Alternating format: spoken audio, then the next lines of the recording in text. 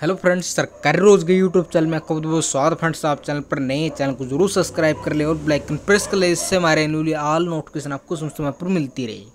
तो वीडियो को ज़्यादा शेयर तो प्यार साथियों, हरियाणा सरकार की तरफ़ से बुढ़ापा पेंशन बढ़ोतरी को लेकर एक बड़ी अपडेट आई है। तो इस वीडियो में आपको मैं पूरी जानकारी आपको बताने वाला हूँ। तो अपने वीडियो को ज़्यादा शेयर करते रहना है, ताकि हर एक बुज़ुर्ग युवाओं को ये जानकारी मिल सके।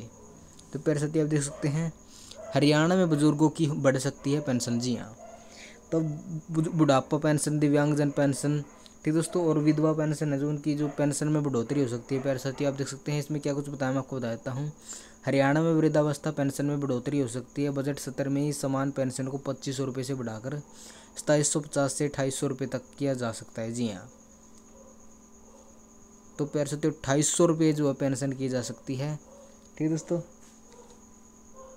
तो इसमें बता रखा है ये। अनुसूचित जाति व पिछड़ा वर्ग के लोगों को भी तोहफा मिल सकता है इसमें, ठीक दोस्तों? एस अनुसूचित जाति के बुज़ुर्ग हैं जो और पिछड़ा वर्ग के उनको भी योजना का है जो लाभ मिल सकता है, ठीक है दोस्तों? तो बुढ़ापा पेंशन में बढ़ोतरी को लेकर ये इन्फॉर्मेशन शेयर करनी थी प्यार साथियों।